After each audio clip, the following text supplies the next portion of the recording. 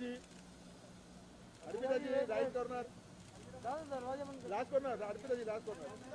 Arpita ji Arpita ji last corner जी इधर right में नहीं देखे मैम राइट में राइट में मैम एक हल्का mask ma'am last corner ma'am ma'am last ma'am last ma'am ma'am ma'am